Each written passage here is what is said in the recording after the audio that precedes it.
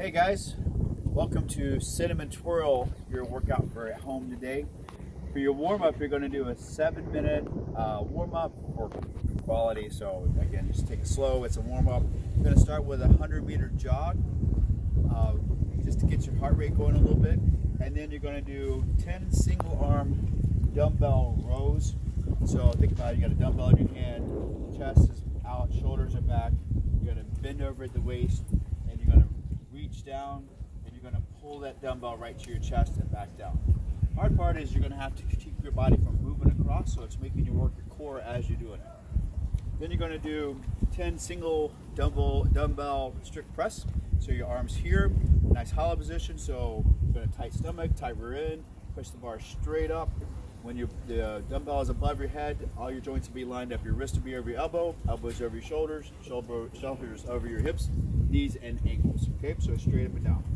And then you're going to do 10 single dumbbell deadlifts.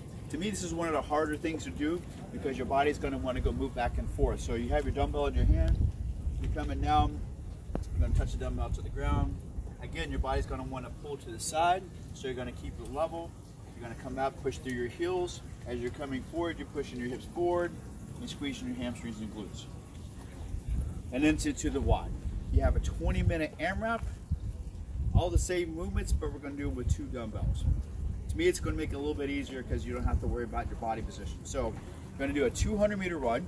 You're going for 20 minutes, so make sure that you're not going all out on these 200 meters. You're going to have to pace yourself. Think about a 5K pace, or maybe a pace that you can say two to three words in this workout because it's fairly long for 20 minutes. Do a 200 meter jog, excuse me, run.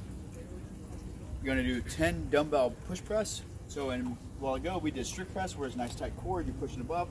Now you're gonna do a push press, so a slight dip, drive your hips up and drive your arms up. In this overhead position, your elbows should be next to your ears and everything lined up, a nice tight core.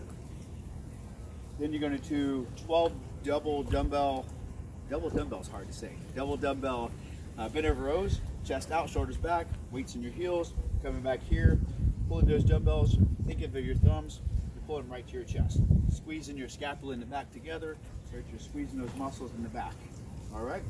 And then you have 15 double dumbbell deadlifts, triple D.